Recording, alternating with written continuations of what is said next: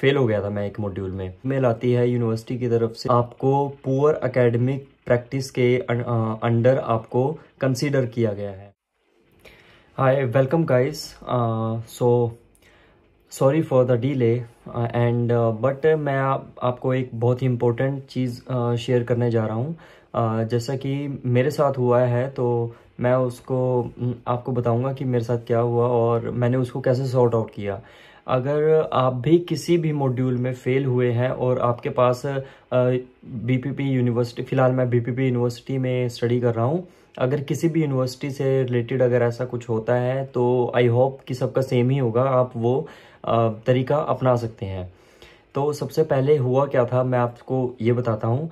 मैंने अपना एक एग्ज़ाम मेरे फ़र्स्ट टर्म के एक मॉड्यूल में मेरी री आ चुकी थी फेल हो गया था मैं एक मॉड्यूल में। तो उसके बाद मैंने अपना रीअसेसमेंट जो सबमिट कराना होता है, मैंने वो सबमिट कराया। और जैसे ही मैंने रीसबमिट कराया तो मैं, जैसे ही उसका रिज़ल्ट आ रहा था तो रिज़ल्ट आ गया और रिज़ल्ट में पास हो गया। जैसे मैं पास हुआ, उसके, मैं खुश हो गया था कि चलो, अब मुझे इस बारे में टेंशन लेने की निर्णय है, क्योंकि मैं अपने रीअसेसमेंट में पास हो गया हूँ।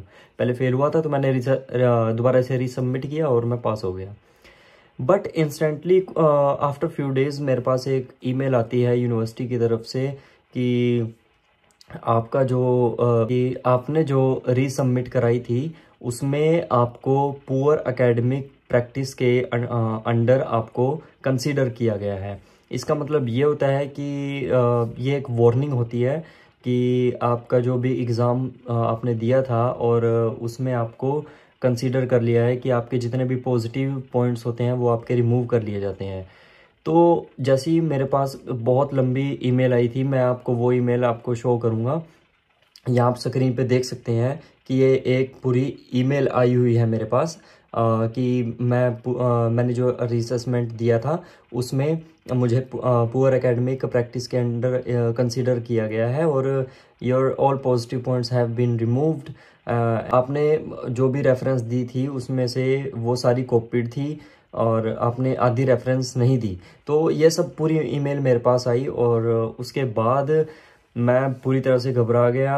I was scared at that time because मेरे पास कोई और ऑप्शन नहीं है क्योंकि मैं सोच रहा हूँ कि आगे पी एस डब्ल्यू लेना है। तो मैंने सोचा कि यार अगर मेरे पास ये ईमेल आई है तो और भी स्टूडेंट्स के पास ईमेल आई होगी। तो मैंने काफ़ी स्टूडेंट से बात की और मुझे पता चला है कि बहुत ही रेयर स्टूडेंट्स है जिनके पास ये ईमेल आई थी आफ्टर रीसबमिटिंग तो इसका सॉल्यूशन मैंने काफ़ी दिनों तक देखा कि और मेरे पास इसमें एक लाइन मेंशन थी कि you have only twenty days for this student query you have to contact with the student supports do not respond this email so uh, i contacted with the student sport team and uh, they didn't respond uh, well so then i contacted with my last module uh, teacher तो उन्होंने मुझे बताया कि आपको मैं एक email देता हूँ और आप इस ईमेल पर आप उनसे कांटेक्ट करें मॉड्यूल लीडर होता है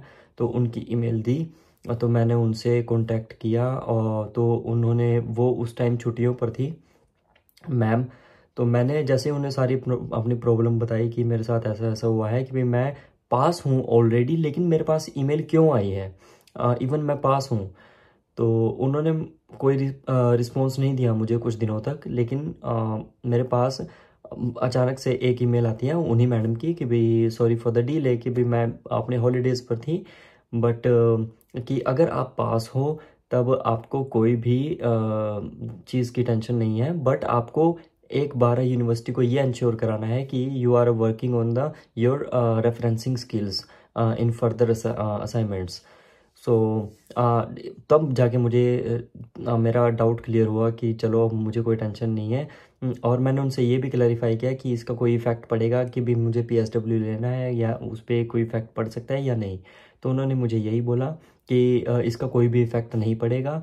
अगर कोई इफ़ेक्ट पड़ता है इन फ्यूचर तो आप ये ईमेल शो कर सकते हो, उनको डेट सेट आप या, सो, मेरी आपसे यही रिक्वेस्ट है, अगर आपके साथ भी कुछ ऐसा होता है कि आपके पास एक ईमेल आती है किसी भी यूनिवर्सिटी से कि आप जो रिसेस, रीअसेसमेंट आपने सबमिट कराई है, उसमें आपको पुअर एकेडमिक प्रैक्टिस के लिए कंसीडर किया गया है एंड सारे पॉजिटिव पॉइंट्स रिमूव कर लिए गए हैं। और, इवन आप पास हो, फिर भी आपके पास ईमेल आती है तो ये सिर्फ़ उन्हीं के लिए है। तो आप अपनी यूनिवर्सिटी से कांटेक्ट करें। अगर यूनिवर्सिटी रिस्पॉन्ड नहीं देती तो आप अपने ट्यूटर से कांटेक्ट करें। ट्यूटर आपको कोई ना कोई सॉल्यूशन ज़रूर देगा। क्योंकि जैसा मेरे साथ हुआ था, मैंने आपको सारी कहानी बताई है कि मेरे ट्यूटर ने मुझे एक ईमेल दी थी, जो कि मॉड्यूल लीडर होते हैं। जो मानो, मेरा एक मॉड्यूल है पर्सनल इफेक्टिवनेस तो उसका एक मॉड्यूल लीडर होता है, पूरी यूनिवर्सिटी का वो लीडर होता है।